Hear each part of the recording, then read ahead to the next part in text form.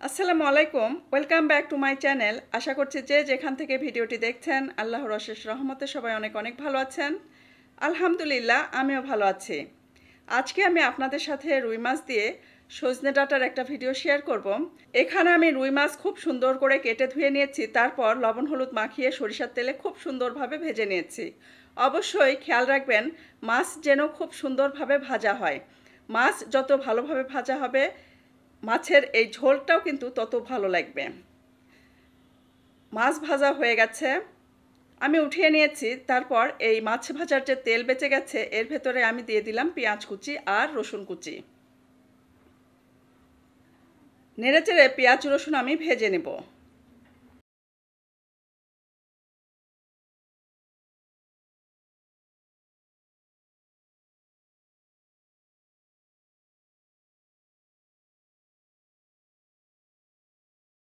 এক মিনিট ভেজে নিয়েছি। এখন আমি এর ভেতরে দিয়ে দিচ্ছি বড় সাইজের একটা আলু। ঠিক এরকম সজনে ডাটার মতো করেই কেটে নিয়েছি, লম্বা লম্বা করে। দিয়ে দিচ্ছি দুইটা টমেটো টুকরো করে কেটে নিয়েছি। দিচ্ছি লবণ, হলুদ গুঁড়া।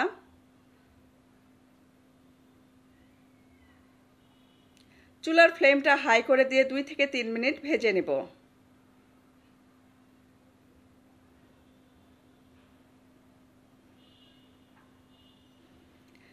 যেহেতু এই প্যানে ভাজতে অসুবিধা হচ্ছে, তাই আমি প্যানটাকে চেঞ্জ করে নিলাম।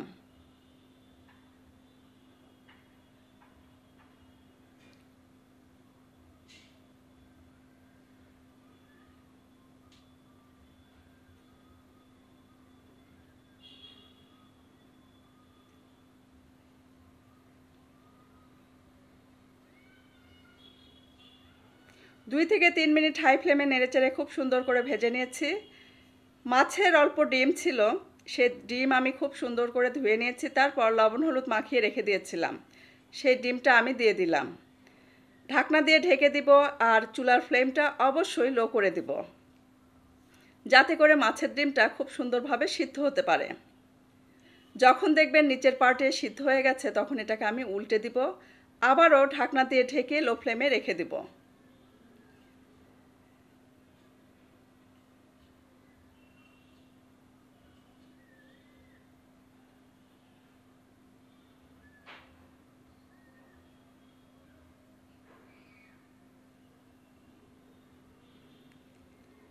এ পর্যায়ে দেখতেই পাচ্ছেন মাছের ডিম কিন্তু খুব সুন্দরভাবে সিদ্ধ হয়ে গেছে।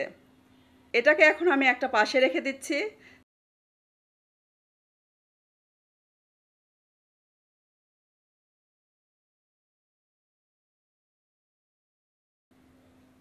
দিয়ে দিচ্ছি কাঁচামরিচ,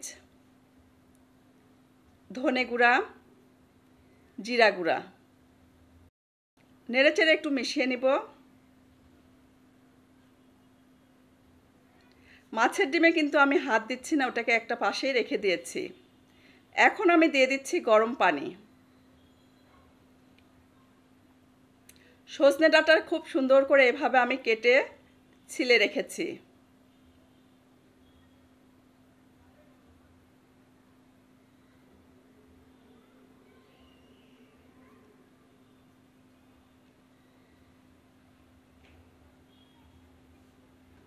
সজনে ডাঁটা যখন আপনারা ছিলে নেবেন, তার আগেই ধুয়ে নেবেন। ছেলার পর সজনে ডাঁটা আর ধোয়ার কোনো দরকার নেই।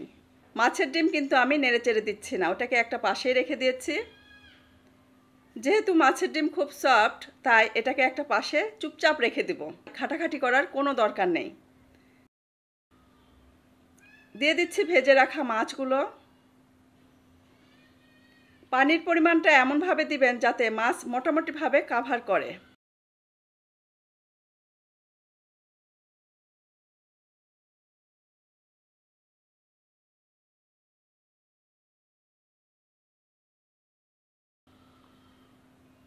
ঢাকনা দিয়ে ঢেকে হাই ফ্লেমে জাল দিব। যখন দেখবেন টকবগে ফুটে উঠেছে এবং গ্রেভিটাও শুকিয়ে গেছে, ঠিক এরকম তখন আমি চুলার ফ্লেমটা বন্ধ করে দিয়েছি। উপর থেকে একটু পাকা মরিচ দিয়েছি।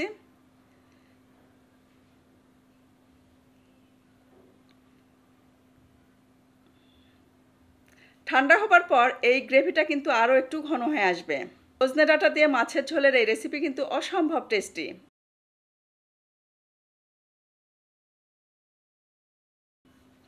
এখন আমি দেখিয়ে দিচ্ছি রসুনের আচার। অলরেডি কিন্তু আমি আমার চ্যানেলে রসুনের আচারের একটা ভিডিও শেয়ার করেছি, সেখানে ইন্ডিয়ান যে গোটা গোটা রসুন আছে, সেই রসুনটা দিয়ে আচার করেছিলাম।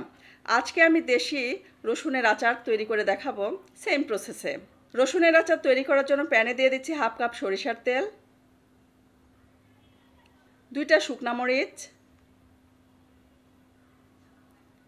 এক কাপ দেশি রসুন। খোসা ছাড়িয়ে নিয়েছি। খোসা ছাড়ানোর পর কিন্তু এই রসুনের কোয়াগুলো আর ধোয়ার কোনো দরকার নেই। সরাসরি তেলের ভিতর ছেড়ে দিবেন।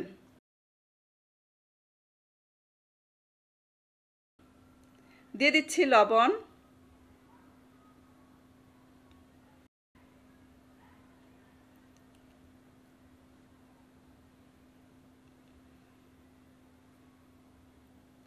নেড়ে চেড়ে মিডিয়াম আছে জাল দিব।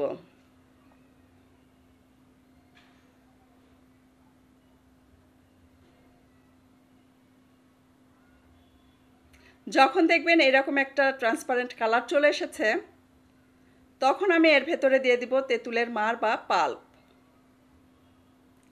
অল্প পরিমাণে তেঁতুল আমি পানি দিয়ে দশ মিনিট ভিজিয়ে রেখেছিলাম, তারপর হাত দিয়ে কচলে কচলে এই মারটা বের করে নিয়েছি। বিচি এবং আঁশটা ফেলে দিয়েছি।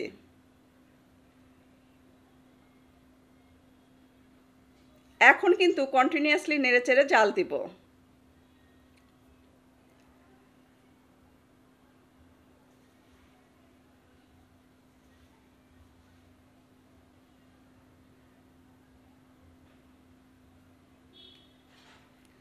যখন দেখবেন এভাবে টক বগে ফুটে উঠেছে, তখন আমি এর ভেতরে দিয়ে দিব চিলি ফ্লেক্স। সাদা সরিষা এবং কালো সরিষার ব্লেন্ডারে গুঁড়া করেছি, সেই গুঁড়া দিচ্ছি। ধনে গুঁড়া, জিরা গুঁড়া, চাট মশলার গুঁড়া। হোয়াইট ভিনেগার দুই টেবিল চামচ। দিচ্ছি চিনি। চিনির পরিবর্তে আপনারা কিন্তু এখানে গুড় দিতে পারেন।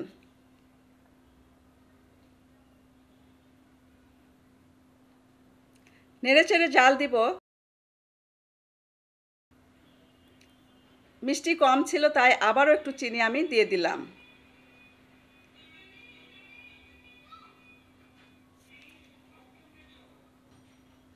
যখন দেখবেন তেঁতুলের মার বা পাল্প শুকিয়ে আঠালো হয়ে গেছে এবং প্যানের গায়ে লেগে লেগে যাচ্ছে এবং রসুনও ট্রান্সপারেন্ট কালার চলে এসেছে, তখন বুঝতে হবে রসুনের আচার আপনার রেডি হয়ে গেছে। ঠিক এরকম অবস্থায় আমি রসুনের আচার নামিয়ে নিচ্ছি। যারা ফেসবুক থেকে ভিডিওটি দেখছেন প্লিজ ভিডিওটিতে লাভ রেক্ট দিবেন লাইক এবং ফলো দিয়ে রাখবেন, সেই সাথে ভিডিওটি শেয়ার করে দিবেন।